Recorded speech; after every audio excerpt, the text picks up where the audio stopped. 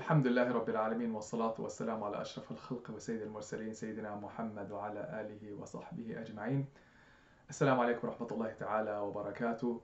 I ask Allah Azza wa Jal that He blesses you and protects you and your families in these difficult, unprecedented times in our lives. Indeed, if I were to ask you three months ago, would you imagine a time in your life where by March you would go out and you know outside of your home and you would find no planes in the sky, hardly any cars on the street, that families would be wouldn't be able to get out of their homes across this earth. They would be on a lockdown and people would be fighting over food and a roll of paper in a supermarket. That mosques would be locked down. That Mecca and Medina wouldn't be accessible. There would be no Hajj. What would you say? You would say this is insane. It's impossible. Sounds like the day of judgment, and yet here we are. You and I found our, find ourselves in this situation, in this unprecedented unprecedented t- trial in our lives, so overwhelming, so painful, so full of uncertainties. You and I have no idea what's going to happen to us. Millions of people have lost their jobs. Thousands and thousands of people have lost their lives. We know personally people that have lost their lives because of this pandemic, because of this virus that has invaded this earth, a microscopic creature that you and I cannot see because of which we're in our homes. And indeed, we find ourselves in the month of Ramadan right now, an unprecedented Ramadan. And we're also full of uncertainties and anxieties and sadness as to how Ramadan came to us this year. And you and I are not able to go to the masjid. And how can we think of a Ramadan without a mosque? How can we imagine a good, sweet Ramadan without Taraweeh in the masjid? How can we conceive of a Ramadan without our brothers and sisters to, to break fast with, without extended families in our homes? No doubt, your heart and my heart are in pain because of this, are grieving because of this. The question that I have for you today is how, in the middle of these difficult, overwhelming circumstances, do we do make this month of Ramadan the best in our lives? And is that a possible question? is this Ramadan going to be the saddest of our lives? Or could it really be the best in our lives? Well, it all comes back to what you and I think of the month of Ramadan and what we expect. Comes back to our minds, our thoughts, our beliefs about the month of Ramadan. The shaitan is constantly seeking to make us believe that we're going to be poor. We're in a state of loss. Allah states this in the Quran, الشيطان يعدكم الفقر ويأمركم بالفحشاء the shaitan is keen to make us hopeless, to make us despair, to make us think that our futures are full of doom and gloom, that we're not going to make it. And Allah Azza wa says these thoughts are whispers of the shaitan that seek to deepen your wounds, deepen your pain, break you down, deplete you. But Allah has another promise that changes our perspective. He says, Subhanahu wa ta'ala, ya'idukum maghfiratan minhu wa fadla. Allah promises something different that is real. It's the promise of Allah. It's the truth. Maghfirah, forgiveness, His mercy, and His forgiveness, wa fadla, and His virtues, His blessings, His bounties. That's a promise of Allah. I want us to pay attention to that. How many of us are thinking that the one behind all of this is but Allah Azza wa Jal. Allah wants us to shift our thinking from thinking thoughts that deepen our pain that weaken us, that deplete us to thinking Allah, Allah, Allah. Imagine for a second when you remember that not only is this calamity that has afflicted this earth ultimately is from Allah Azza wa Jal. I mean, it's it's He who controls the heavens and the earth, and even this creature, this virus that came to us that we cannot see with our eyes, is ultimately a creature of God Almighty, Allah Himself, the most merciful, the most wise, the most knowledgeable. And it is Allah who says, There is not an affliction that comes to you except that it's written in a book. It aims to target whoever Allah wants to target with. And it's the hand of Allah behind it all. And it's Allah Azza who said this. Imagine when we think about Allah being behind everything. Imagine for a second that we think that this Ramadan came to us at a time that Allah wanted it to come to us in these particular circumstances. It's the decision of Allah Azza wa Jal. And what does Allah say about Himself? بِيَدِكَ الْخَيْرِ In your hand is all goodness. The most gracious, the most merciful, Allah, your creator and my creator, is the one who decided that this Ramadan 2020 will come during this trial. And if Allah decided this, what does that tell you? It tells you that it will be a special Ramadan. Because Allah's promise is for infinite blessings. But it takes you and I to understand the blessings of Allah Azza wa. Allah will never intend harm for you and me. Never. So somehow this Ramadan is going to contain unprecedented blessings, even though you and I don't think so. Let us reflect on what Allah promises. We need reminding. Right now, right now on this day Friday, what is Allah telling you and me? Allah is telling you and me in this month of Ramadan, as Rasulullah reminds us, as Rasulullah reminds us, when the month of Ramadan comes upon us, the doors of Jannah are open the doors of the hellfire are locked, and the shaitans, the devils, are locked up. What a beautiful thing to reflect on. You and I, right now, in the midst of this adversity, what is the thing we need the most? Allah's rahmah, Allah's mercy. So I'm telling you that this Ramadan is a Ramadan that you and I desperately need.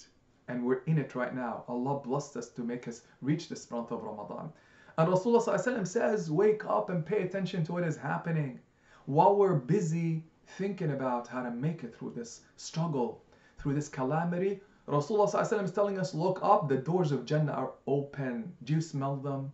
Do you sense them?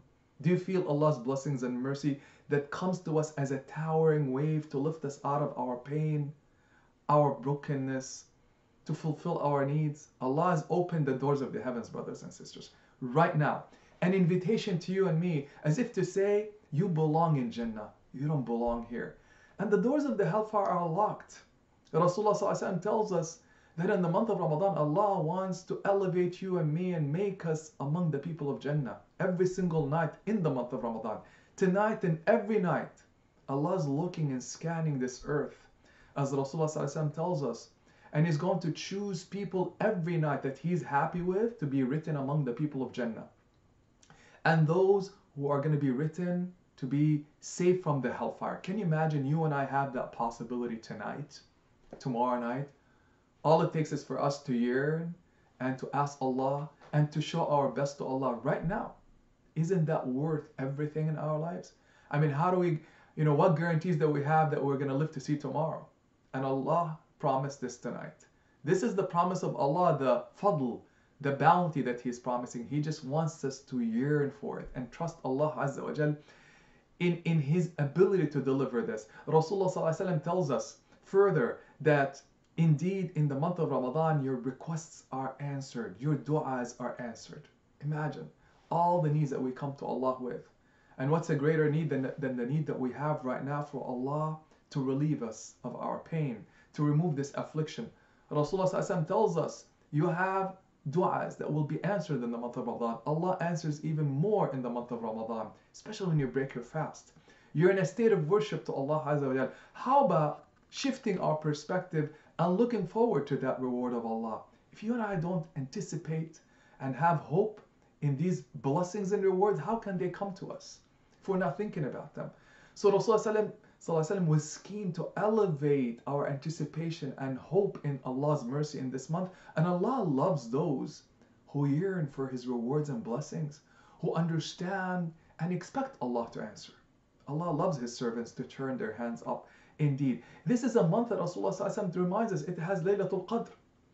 And Allah made a whole surah speak of the virtues of Laylatul Qadr. Are we looking forward to this in the middle of this pain and experience of difficulty that we're in, indeed Allah Azza says a night in this month better than a thousand months, better than our entire lives combined. Wow, can you imagine all that we brought to this point in our lives, all the pain, all the struggle, all the things that have taken a toll on us.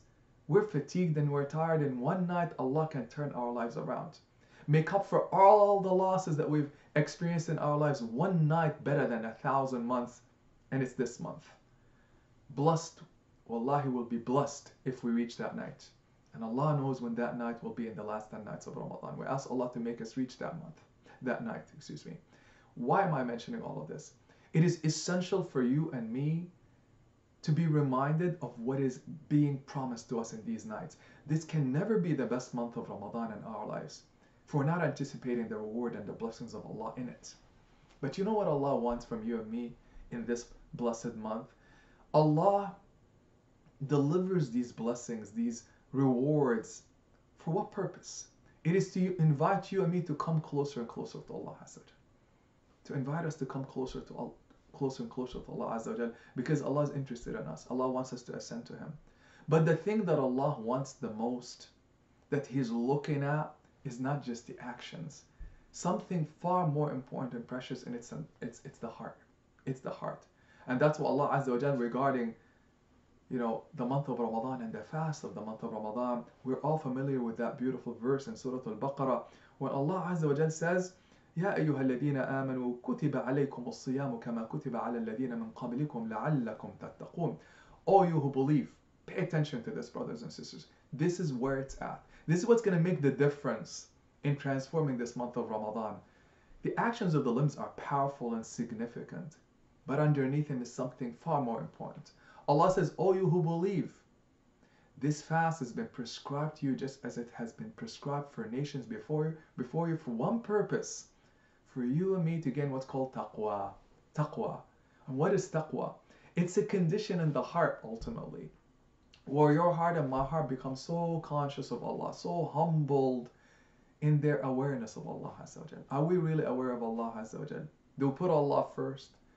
You and I right now in our state of fear, and we're afraid, I'm sure. Many of us are afraid and anxious. We're not sure what's going to happen tomorrow. In this moment, are you aware that Allah is with you?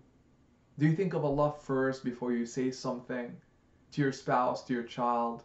Do you remember Allah Azza wa you know, whenever uh, you know you're busy with things in this life and the salah time comes, and do we put Allah Azza wa Jal first? Allah wants you and me to put Him first. And this is one of the reasons why He sends afflictions and calamities. It is to make us realize there's no one there for us but Allah, to witness His presence in our lives. So He cuts us off. He cuts us off from the distractions. He puts us in a condition where we feel desperate like a drowning, drowning person, drowning person, for us to recognize and see that Allah, Allah, Allah is the only one, is the only one right now with me who can save me, who can elevate me, to really testify, give shahada that indeed La ilaha illallah, no God but Allah, no God but Allah, no Savior, no one who can show me His mercy, no one that can forgive me, no one that can heal me, no one can that can provide for me and my children. No one that can protect me and my family. No one can that, that can put me in Jannah. No one. But Allah. He's everything. Allah wants you and me to be aware, aware of Him in that way, with that reverence, that we also start to seek His pleasure and to put a shield between us and, and, and, and His displeasure. That's what taqwa is. To be concerned that Allah will be displeased with you and me. But if we're not in that condition, there is, an, there is a problem. So Allah looks at you and me and He wants to bring us to that level of awareness, to make our hearts soften with His remembrance, as He says in the Quran, أَلَمْ يَأْنِ لِلَّذِينَ آمَنُوا أَن تَخْشَعَ قُلُوبُهُمْ لِذِكْرِ اللَّهِ Hasn't the time come for the believers, for their hearts to be humbled, softened with the remembrance of Allah? For your eyes and my, my, my eyes and your eyes to tear when we think of Allah That's the greatest moment. When your heart is so softened, it recognizing this life, it recognizes this life is worthless. That's what Allah is looking for. And perhaps outside of the month of Ramadan, we're so busy with life. We're so consumed with life, chasing in that rat race of afterlife. You know, with provision, with children, with wealth, and surviving, and entertainment. So Allah says, I'm going to bring you into the month of Ramadan and cut you off have you engage in this state of abstaining from the material world so that you start to reflect on me, so that you start to think about me. He cuts off all the distractions. And pay attention to what is happening this particular Ramadan. That will be indeed the most memorable in our lives.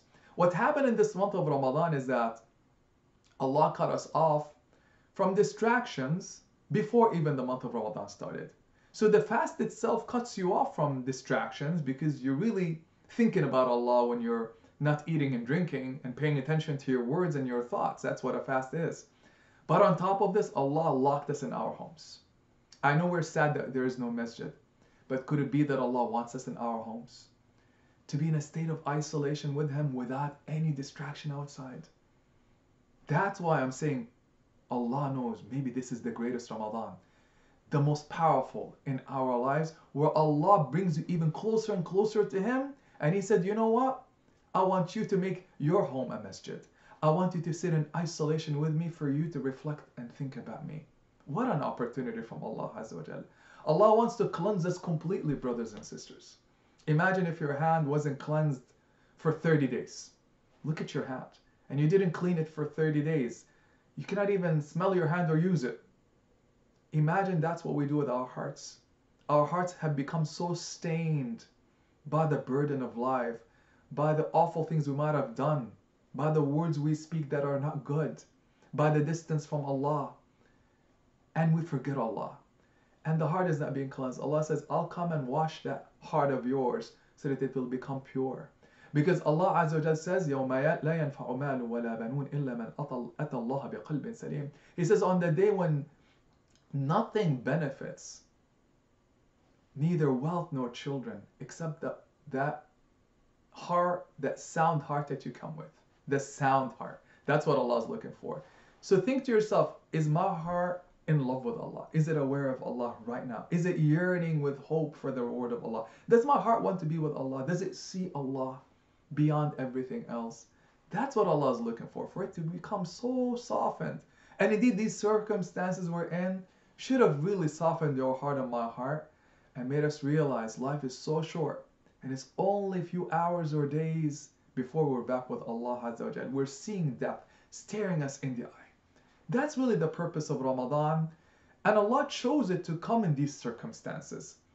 When we look at it as such, that it is decreed by Allah, fashioned for you, me, tailored for you, me to come in this fashion with all these blessings, and our hearts start to turn to Him with that expectation, rest assured Allah will provide for you, inshallah, the best Ramadan in your lives.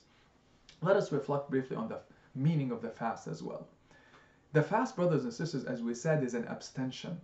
Is an abstention, is to cut yourself off from things that distract you. Rasulullah used to fast even before revelation, but not the fast that you expect. You see what Rasulullah did to find that awakening in his heart, for him to connect better with the divine. What he used to do is to retreat from Mecca Mecca was a happening place. Mecca was busy. Mecca had entertainment and he used to go to the cave before revelation. Why did he used to go to the cave? To reflect and meditate. It is impossible to meditate, find truth, find healing when the heart is busy and is consumed by the world. So Rasulullah used to go there. And think for a minute what happened. It was in that moment of separation from the world and its distractions in the middle of a cave that was dark that Jibril came to him from the heavens, that the heavens opened. So it didn't happen while he was at home, while he was in the street, while he was in the market, even around the Kaaba. It happened in a cave of isolation. Aren't you and I quarantined right now in our caves? Think of Rasulullah when he abstained. You and I are already in a state of fast even before the month of Ramadan started, as I said. Cut off for us to experience the sacred, for us to meditate and reflect on Allah. And here's what happened when you and I really engage in the remembrance, of Allah Azza wa When we busy ourselves and meditate on Him, and indeed these times should compel us to do this. That's why Allah isolated us. Allah Azza wa promises indeed that those who consume themselves with Allah's remembrance, Allah will put that tranquility in the heart.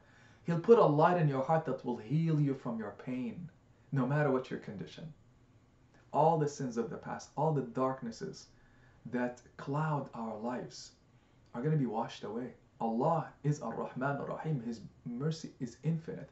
That's why Rasulullah tells us in a beautiful hadith Qudsi that Allah said, O son of Adam, there is not a time that you come and you know express hope in me and my mercy and my forgiveness except that I will answer you and forgive you no matter what your sins are O son of Adam, if your sins were to reach the sky, can you imagine? Your sins the awful things we've done in our past that we're what we what we wish we can change and how many people wish to change their past. If you come to me with as many bad things piling up to the sky and you ask me i'll wash them away. I'll make you heal. I'll forgive you. If you come to me with sins and mistakes as big as earth can you imagine? We can spend our entire lives sinning and making mistakes every second and they will not add up to all of earth or reach the sky. Allah says, I'll change you. I'll heal you. I'll make you recovered. I'll forgive you. Why? Because Allah is the most forgiving and no mistake and no flaw and no darkness can ever eclipse or transcend or or, or surpass, excuse me, the mercy of Allah Azza wa It's boundless, it's beyond our imagination. And Allah saying, when you come closer to me with this condition of fast, Allah says in a beautiful hadith, and, and you know, when you exert yourself with nawafil, with extra deeds, extra actions to please Allah, Allah subhanahu wa ta'ala says, كنت سمعه الذي يسمع به. I'll change, I'll start to change not only your heart but your limbs. I'll start, I'll become the hearing with which you hear, the sight, وبصره الذي يبصر به, the sight with which you see, the feet with which you walk. Allah will start to change your limbs to feel good, to have nur in them. You'll change as a human being. You'll be transformed. You'll become really beautiful. You're enfolded in the mercy of Allah, and you yourself become a mercy, and you'll feel it in your heart, and you'll see it in your limbs. That's the condition that Allah wants us to see, to become angelic. And notice in the month of Ramadan, we do change. We do change. Allah makes you and I see that you and I can become the proof for ourselves that we can change. Millions of Muslims change in the month of Ramadan. We witnessed the power of Allah through us, not through somebody else necessarily. You look at yourself and you're becoming like an angel, and you're doing the actions of the angels. Subhanallah. So let us wrap with this. How do we make this the best Ramadan of our lives? We make this the best Ramadan of our lives when we decide then inshallah it's the best Ramadan of our lives. Allah wants us to have hope in Him, and hope is in the heart. Allah's looking at the heart, remember. If the heart is doubting Allah, has uncertainty that my life is not going to change, there is doom and gloom that I'm not going to make it. This Ramadan is not for me. It's already a difficult Ramadan. Well, that's what you're going to get if that's what you think. Allah says, anticipate. It's Allah that sent you this month of Ramadan. So it starts with the heart. And Allah says, إن يعلم الله في قلوبكم خيرا يؤتكم خيرا. If Allah sees good in your heart, He'll deliver good for you. There's nothing better that you can come to Allah with than a heart that anticipates His reward that seeks His pleasure, that says, Alhamdulillah, Ya Allah, you send me the best Ramadan, the best timing. I trust in you, even though I do not understand. And Ya Allah, I'm looking forward to your reward and to your blessings, and to you changing my family, healing me, making me recover, you know, providing supernatural blessings for me in my life. Right now, Ya Allah, I know you are able to. And I'm looking forward to your mercy, Ya Allah. And I love you, Ya Allah. And I want your pleasure, and that's why I'm fasting. If you show Allah that, in your heart, expect wonders to happen. But if your heart is doubting, be careful. So it starts here. Pause and reflect on the condition of your heart and elevate your hope in Allah right now and say, Ya Allah, give me the best Ramadan of my lives. Give my children the best Ramadan of my lives. What else do we do in this month of Ramadan? Starts with the heart. There's nothing better to do than doing the actions that Allah asked us to do. Because He says in a beautiful hadith, that there is not a thing you do that is more beloved to me than doing the things that are prescribed for you. What did Allah prescribe in Ramadan? Fasting. Abstain from food and drink. Cut off from these things in the time that Allah told you, from Fajr until sunset. Do you know that when you when you just do that, to answer the command of Allah, it's such a big deal to Allah because you say, Ya Allah, I'm doing this because you asked me, because it's required by you, and I want your pleasure. That's it. I know it's going to be a difficult fast because you're not in the community outside and you're not enjoying the connections with others and there's no larger family with you. It's meant to be a difficult Ramadan. But the reward is greater when it's difficult. The Sahaba, the companions of Rasulullah used to love fasting the hot days because they understood Allah's blessings are greater when the fast is more difficult. So if it's going to be a more difficult fast for you, glad tidings. It's a good thing. And say, Ya Allah, I'm fasting. I'm going to start my fast when you ask me to. Dawn. I'm going to break my fast when you ask me to because you asked me to do that, Ya Allah. Send that to Allah and watch what Allah will do with you. Allah Azza wa Jal says, that's the best thing you can come to me with. To please me by doing the things that I ask you to do. And Rasulullah says, whoever fasts the month of Ramadan with yearning and anticipation for the reward of Allah, Allah will forgive all of their sins. And Allah is so happy with you in your fast that when you, before you break your fast, your dua is answered. Your dua is answered. So make sure, brothers and sisters, 15, 20 minutes before you break your fast, don't busy yourself with distractions. Sit and reflect on Allah. Raise your hands and ask Allah. All of your du'as are answered, inshallah. Don't doubt Allah. Create a list of your wishes with Allah, but make on top of that list the pleasure of Allah. Jannat al-Firdaus. For you and your children and your family, for Allah to relieve us of these afflictions, but trust Allah when you do. Fill your day with dua. With dua. Allah's answering. Allah's looking. Allah's heaven is open. What else do we do in the month of Ramadan? Quran. Quran. This is a month honored because of the Quran.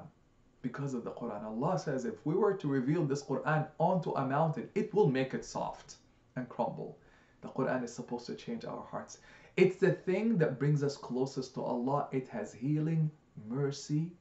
It delivers incredible blessings from Allah. It brings us to life. Connect with the Quran. Read this Quran every day in the month of Ramadan.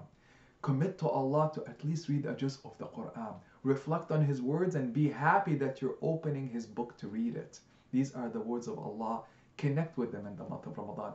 What else do we do? Increase your worship as you're aware.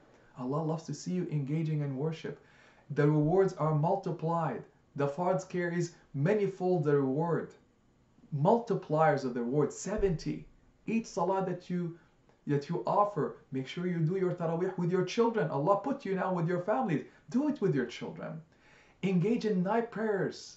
Night prayers, Qiyamul Layl in the month of Ramadan. These are the most intimate moments with Allah. Night time, especially before Fajr. When you engage in sujood and you recite the word of Allah with hope in your heart. If you do, and decide to do a few nights a week, minimum, rest assured, inshallah, you're among the chosen that Allah brought up in the middle of the night to connect with Him, and Allah will answer your du'as and change your hearts. What else do we do? Seek the help of Allah.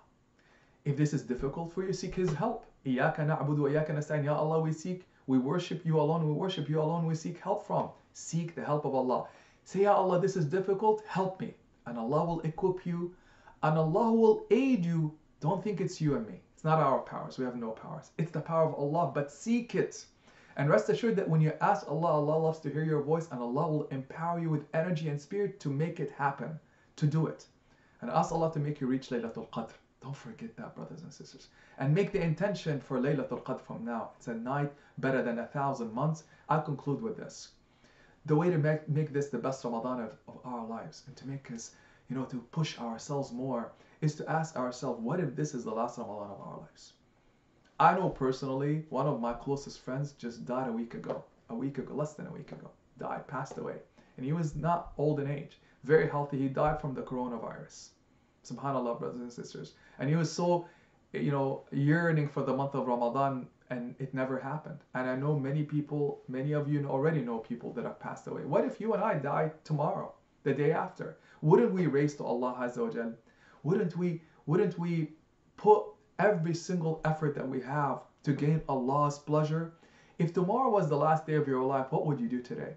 Do you and I, you and I know that we'll engage in nothing but the remembrance of Allah, with the words of Allah. We'll be putting our heads on the ground. We'll be merciful with our families. Make sure you're good with your families, brothers and sisters. They're gonna remember us. Allah says, the best of you are the best to His creation. To His creation.